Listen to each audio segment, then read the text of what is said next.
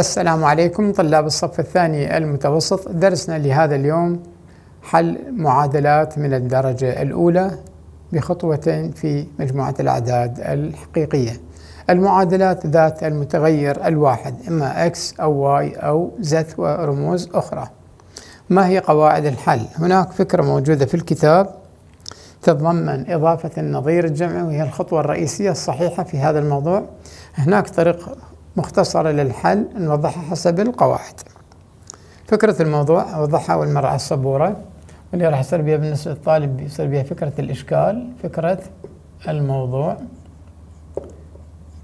لاحظ هنا على المثال الأول اللي هو خمسة x ناقصا ثمانية يساوي لنا أربعة x زائدا ثمانية. أوضح بالبداية فكرة الموضوع. فكرة الموضوع هو أولا أتخلص من هذا العدد الصحيح اللي هو سالب ثمانية بإضافة النظير الجمعي. فراح أضيف هنا عندنا موجب ثمانية وهنا أضيف موجب ثمانية. راح يصير الناتج عندي خمسة إكس زائدا صفر هنا رسالة عندي حذف. الناتج يساوي عندنا أربعة x زائدا ستة تكملة الفكرة مرة ثانية. لاحظ الناتج وين يساوي خمسة x زائد صفر ما أحتاجه. هنا عندي أتخلص من هاي الأربعة x حتى بقى العدد. يصير عندنا أربعة x ستة عشر أضيف سالب أربعة x. هنا أيضا نضيف سالب أربعة x.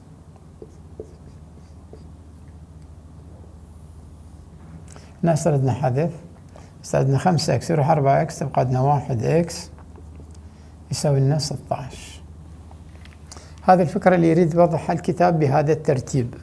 ما هي الفكرة البديلة أو الأسهل بالنسبة للطالب حتى لا يصير عندنا أخطاء في هذا الموضوع؟ الفكرة هي بالشكل التالي. أن نجعل الأعداد في طرف والمتغيرات في الطرف الآخر بعد عملية النقل والترتيب. هاي الفكرة صحيحة في الكتاب جدا صحيحة وهي الأضبط. الفكرة تستخدم فكرة إضافة النظير الجمعي لكل متغير أو لكل عدد. أبقى الفكرة على السبورة أطبق القواعد هنا بالنسبة للمثال حصل على نفس الناتج. المثال رقم واحد الحل SOL المثال هو خمسة x ناقصا ثمانية تساوي لنا أربعة x زائدا ثمانية. الفكرة بالشكل التالي. نجعل الأعداد في طرف والمتغيرات في الطرف الآخر. أنقل سالب ثمانية للجهة الثانية. وأنقل ليد موجب أربعة x للطرف الآخر. الخطوة أسميها بهذا الشكل. نجعل المتغيرات في طرف والأعداد في الطرف الآخر والأعداد في الطرف الآخر. العملية اللي نستخدمها شو اسمها؟ نقل وترتيب نقل وترتيب. الملاحظة أثناء عملية النقل والترتيب العدد اللي نقله ما بعد المساواة تتغير الإشارة بعكس ما هي موجودة. فمثلا إذا كانت إشارة سالبة نقلت للطرف الثاني تصبح الإشارة موجبة. كذلك بالنسبة للإشارة الموجبة إذا نقلتها ما بعد اللي يساوي للطرف الثاني تصبح سالبة والعكس صحيح. خطوات الحل راح يكون الناتج مالتنا. 5 إكس تبقى مكانها. موجب 4 x انقلها لهذا الطرف يصير سالب 4 x.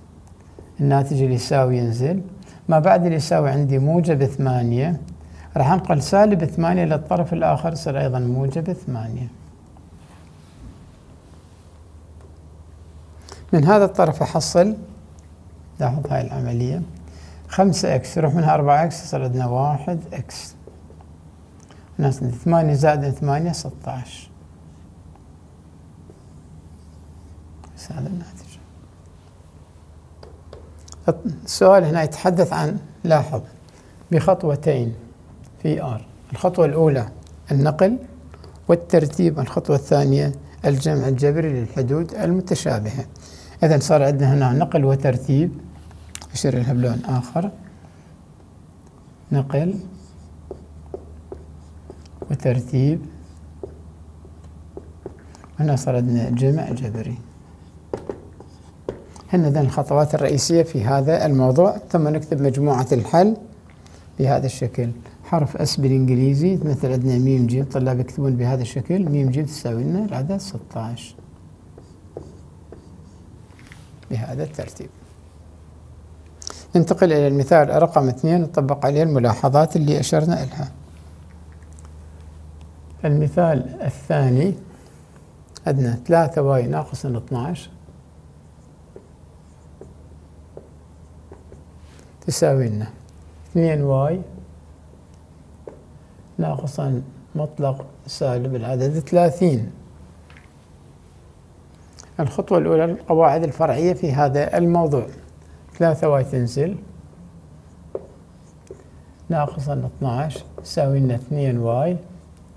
الإشارة السالبة هاي تنزل. نتخلص من المطلق صار عندنا 30 هنا يسمى تعريف المطلق. تعريف المطلق أو التخلص من المطلق. بعد نطبق هذه الخطوة النقل والترتيب. نقل وترتيب. أحصل الشكل التالي هاي 2 y ننقل هذا الطرف سالب 12 ننقل إلى الطرف الآخر. صار عدنا 3 y ناقصا 2 y. سالب 30 لأن بقت مكانها زائدا 12 بعدها الجمع الجبري للحدود المتشابهة. 3 y يروح من 2 y يبقى عندنا 1 y. الإشارة للمطلق الأكبر أخلي على الإشارات 30 هي الأكبر إذا سالب ونطرح الصغير من الكبير 30 يروح من 12 بعدنا 18 مجموعة الحل حرف S تساوي لنا سالب 18 هنا جمع جبري. للحدود المتشابهة وهنا عندنا ناتج. إذن الخطوات الثلاثة رئيسية في الموضوع إضافة إلى مجموعة الحل ثم الخطوات الفرعية اللي تظهر أثناء عمليات التبسيط. المثال الآخر هو المثال رقم ثلاثة. عندنا عشرين بدأ بعدد عشرين زائد اثنين إتش. الناتج يساوي ثلاثة اتش ناقصا ثلاثة تربيع. اكتب داخل قوس صغير للتوضيح بهذا الشكل. خطوات الحل. التخلص هنا. خواص الأسس. تعريف الأسس. ردنا عشرين. زائد اثنين اتش سوينا ثلاثة اتش ناقصا تسعة. تعريف الأسس.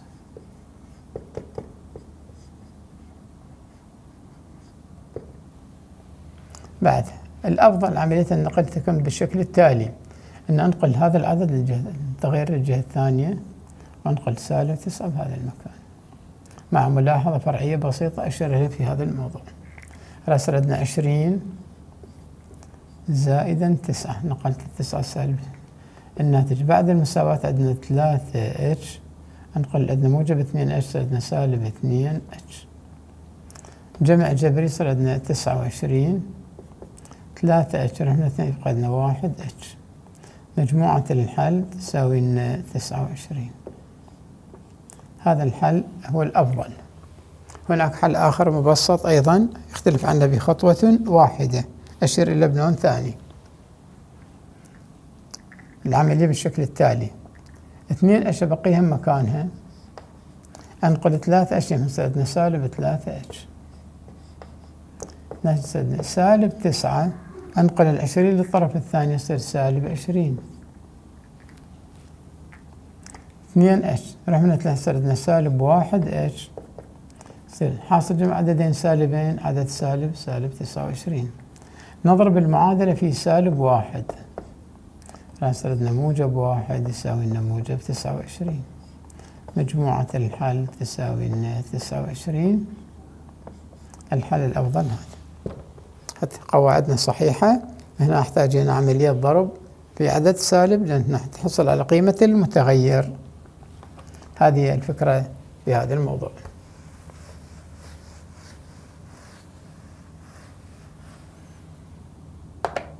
المثال رقم أربعة. مثال رقم أربعة. اثنين إكس زائد اثنين جذر الثلاثة يساوي لنا x ناقصا ثلاثة جذر الثلاثة. أنقل ال x للجهة بهذا الترتيب. الحل السؤال النقل والترتيب صرنا اثنين x ناقصا واحد x. سالب ثلاثة جذر ثلاثة سالب اثنين جذر الثلاثة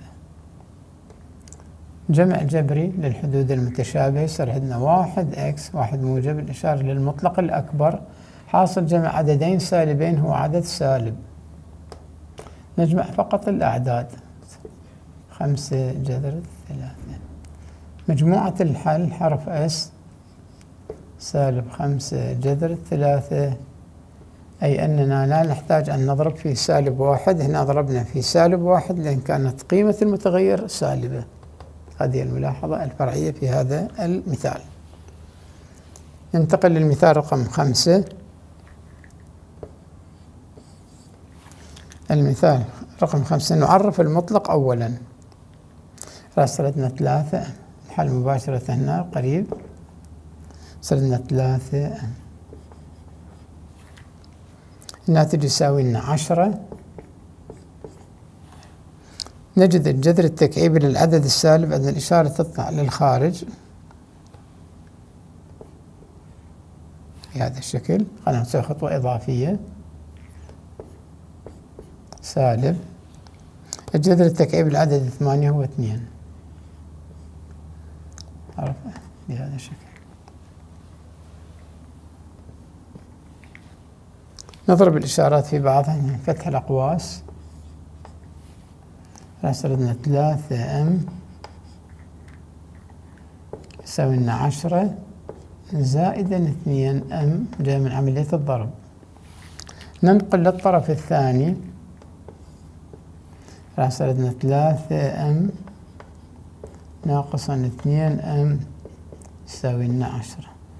واحد أم يساوي لنا عشرة مجموعة الحل تساوي لنا العدد عشرة. بهذا الترتيب. لاحظ الخطوات.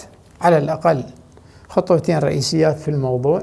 الخطوة الناتجة هي كتابة مجموعة الحل. في بعض الحالات احتاجينا لاحظ هنا ضربنا في سالب واحد. هنا احتاجينا تعريف الأسس. هنا احتاجين تعريف المطلق وهكذا. في مثال آخر عندنا تعريف للجذور والمطلق ويمكن يكون هناك ثلاث حالات في مكان واحد. ثم استخدمنا فكرة فتح الأقواس. إذا سبقت الإشارة السالبة لقوس تغير إشارات ما بعده بهذا الترتيب. هذه قواعد الحل. صحيح اسم الموضوع حل المعادلات بخطوتين المقصود بها خطوات رئيسية تتضمن النقل والترتيب. والجمع الجبري للحدود المتشابهة النقل والترتيب أصل الفكرة هي إضافة النظير الجمعي للعدد مرة للمتغير مرة أخرى وحسب الحاجة. إلى اللقاء في الدرس القادم إن شاء الله. زوروا موقعنا على شبكة الإنترنت www.المرجع.com المرجع الإلكتروني طريقك نحو المعرفة.